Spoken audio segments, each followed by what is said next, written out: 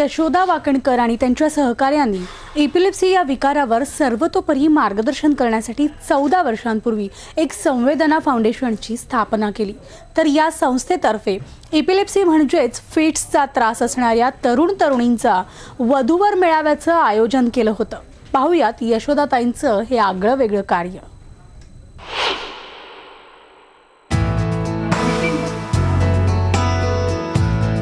वधूवर मेळावा जरा वेगळा आहे. एपिलेप्सी अर्थात फिट येणाऱ्या तरुण तरुणींचे विवाह यातून जमवले जात आहेत. असे सव्वीस संसार आतापर्यंत या मेळाव्यातून झाले. फिट येणं किंवा झटका येणं म्हणजे काहीतरी अत्यंत गंभीर आजार असल्याचा गैरसमज आहे. त्यामुळे अनेकदा लग्नही मोडतात.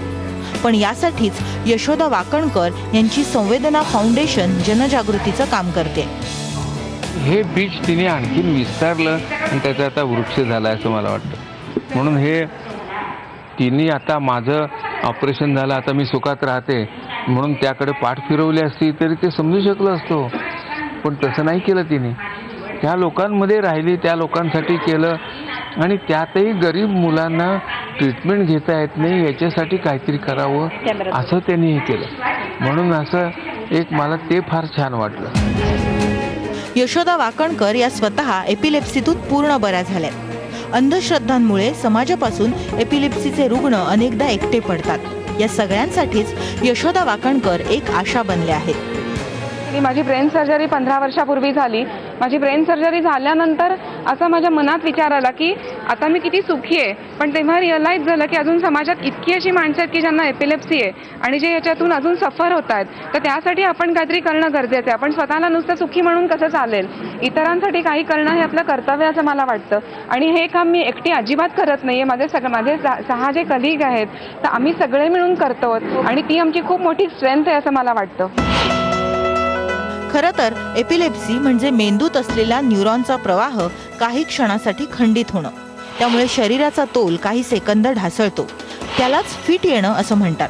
यामुळे घाबरून न जाता उपचार घेणं गरजेचं आहे. यशोदाताई यासाठीच जनजागृती करतात अत्यंतिक गरज आहे. म्हणजे मी संवेदना फाउंडेशनचं मनापासून अभिनंदन करते. कारण ना एखादी गरज शोधून काढून त्यावर सातत्याने काम करणं आणि त्याच्यातल्या ह्या ज्या विशेषतः वधूवर मेळाव्याची गरज ओळखून त्याच्यावर यशोदा वाकणकरनी इतकं काम केलेलं आहे ना समाजाला खूप गरज आहे. कारण आपण सहजी एखाद्या गोष्टीला स्टिग्मा प्रदान करतो का बहाल करतो. आणि मग ती माणसं अशी शेलमध्ये जातात. ती बाहेर येत नाहीत. परंतु लग्न करणं ही माणसाची सहज आणि नैसर्गिक प्रवृत्ती. आहे याला ओळखून याच्यावर काम केलं म्हणून मी संवेदना फाउंडेशनचे मनापासून त्यांचं अभिनंदन करते. इपिलेप्सी आजारामध्ये जर योग्य ट्रीटमेंट मिळाली तर तो आजार पूर्णपणे बरा होतो. आणि याच अनुभवातून गेल्यानंतर यशोदा वाकणकर यांनी समाजासाठी काम करण्याचं ठरवलं आणि एपिलेप्सीसाठी आणि त्याचबरोबर त्या रुग्णांमध्ये आत्मविश्वास निर्माण करणं असेल आणि त्यांना स्वतः जगण्याची एक नवी दिशा देण्यासाठी त्यांची ही धडपड खूप काही शिकवणार आहे. वेळीच इलाज झाले तर एपिलेप्सीच्या रुग्णांनाही सर्वसामान्य आयुष्य जगता येतं. पण त्यासाठी गरज आहे ती तुम्ही आम्ही सगळ्यांनी गैरसमज दूर करायला मदत करण्याची. व्हिडिओ जर्नालिस्ट गणेश कदमसह हलिमा कुरेशी न्यूज एटीन लोकमत पुणे.